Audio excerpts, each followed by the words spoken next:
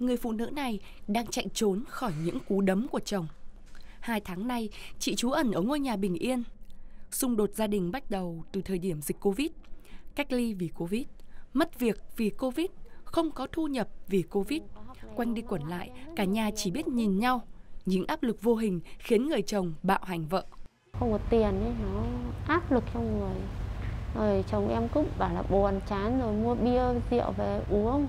Thậm uống xong thì bắt đầu cứ quay ra là chửi vợ xong rồi hạ cẳng tay cẳng chân với vợ. Mà mặc dù những cái lần đấy là những cái lần mà con em thức và em đang bế con trên tay Dựa trên phỏng vấn các phụ nữ từng bị bạo lực tại Hà Nội, các chuyên gia nghiên cứu phát hiện 99% gia đình của họ xảy ra tình trạng bạo lực trong thời gian này. Có tới 87,8% phụ nữ bị bạo hành tinh thần, 59% bị bạo hành thể xác và 25% bị bạo hành tình dục.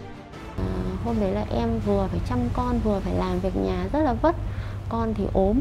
Thế thì chồng em ăn uống xong thì bày biện ra thì em chỉ bảo là anh ăn uống xong thì anh để gọn vào để lát nữa em dọn dẹp em chỉ nói mỗi câu đấy thôi đâu chồng em quay lại là cứ đấm vào mặt em nữa lúc đấy là em suýt ngất em bế con ra ngoài và kêu cứu thì lúc đấy vì là hàng xóm ấy người ta cũng chỉ nghĩ rằng là hay là em làm gì sai nên là ờ, uh, mới bị chồng đánh như thế người ta cũng chẳng ấy gì cả. Chúng ta hãy nhớ rằng bạo lực gia đình không phải là vấn đề của một cá nhân hay của một vài cá nhân hay của một vài gia đình. Bạo lực gia đình là vấn đề của xã hội. Những người nghiên cứu như chúng tôi hay là những người làm truyền thông như các bạn hay là chỉ là một người hàng xóm thì tất cả chúng ta đều hãy lên tiếng và chúng ta hãy cùng nhau hỗ trợ.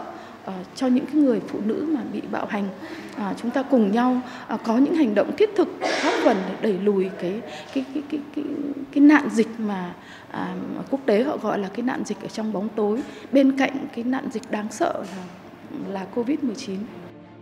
Không chỉ Việt Nam, thế giới cũng chứng kiến xu hướng đáng báo động này với tỷ lệ bạo lực với phụ nữ và trẻ em tăng từ 30 đến 300%. Tổng thư ký Liên Hợp Quốc trong bài phát biểu của mình cũng đã phải kêu gọi hòa bình trong chính mỗi gia đình.